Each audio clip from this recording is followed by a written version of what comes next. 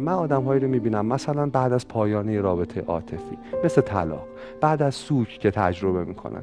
چیزی که بیش از دلتنگی عذابشون میده و رنجشون میده این حسه که اون عمل رو به اندازه کافی انجام ندادن.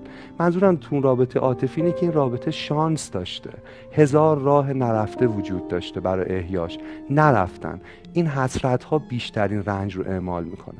من میگم فارغ از نتیجه. فارغ از اینکه چه اتفاقی میفته اینکه چقدر مؤثره. آن چیزی که به عهده ماست باید کاملا محقق بشه. می‌دونید یه استعاره می‌گفتم از ایستادن روی نوک پا.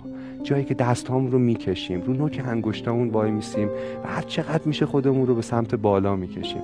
برای اینکه دستمون برسه به آرزوهامون. اگر رسید که عالیه اگر نرسید در پایان بتونیم به خودمون بگیم این همه قد من بوده. من می‌خوام از بیننده ها بپرسم آیا این همه قد شما تو هر رنجی که هستن. سوال سختی ها. هر چیزی که داره مثل خوره روشون رو میجوه اذیتشون می‌کنه. آیا رو نوک انگشتاشون ایستادن؟ مثلا گاهی رنج های ما ناشی از انتظارات ما از افراد یا جهانه. می‌دونید برامون تکرار میشه. پر از گلایه ایم پر از می‌دونید پر از دردیم. ولی یه جا باید متوقف کنیم. تو فلسفه بهش میگن باندری سیچویشن یعنی موقعیت مرزی. هیچ جایی که ما از مرکز جهان به خاطر رنج پرتاب میشیم به لبه جهان. جایی که انگار داریم سقوط می‌کنیم.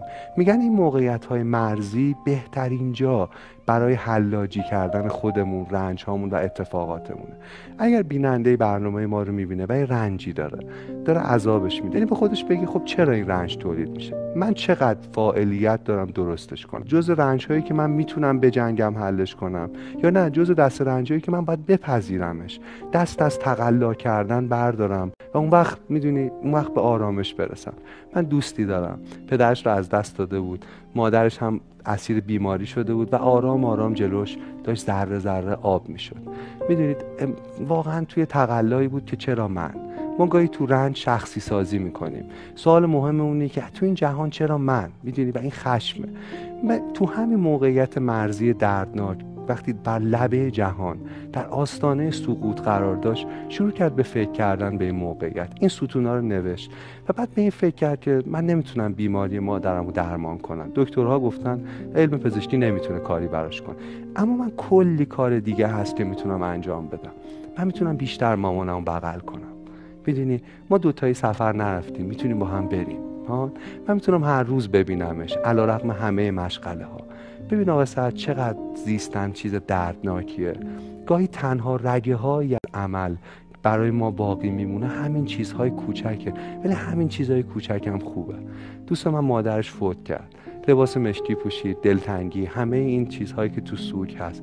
اما وقتی بغلش کردم تسلیت بهش بگم به من گفت مشتاق من هر کاری که می‌تونستم که من من مادرم تو یه سال آخر دیدم. علا رقم همه مشقه من کیف کردم باش حز کردم. چیزایی رو گفتیم که هرگز نگفته بودیم. می‌دونید من می‌خوام بگم رنج سنگ خاراست. با رگه های باریکی از طلا. این تکنیک کمک می‌کنه ما اون اندک رگه ها رو هم استخراج کنیم. اون شنبه جادویی که همه این می‌دونید گرفتاری ها حل شه و من بپردازم نخواهد اومد. قدر همین ده دقیقه ها رو بدونیم. انگلیسی ها میگن مواظب دقیقه هات باش. ساعتات می‌تونن مواظب خودشون باشند